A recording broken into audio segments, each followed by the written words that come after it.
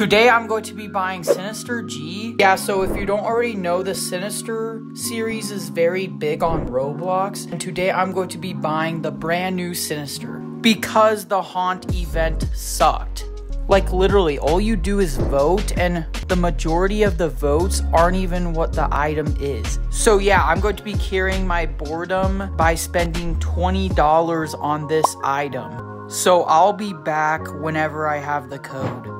Alright, guys, we have the code. I'm going to be redeeming. Alright, guys, let's put it on and then join a game. Alright guys, we're in a game and man, this looks kind of cool, but it's still not worth $20, I don't think.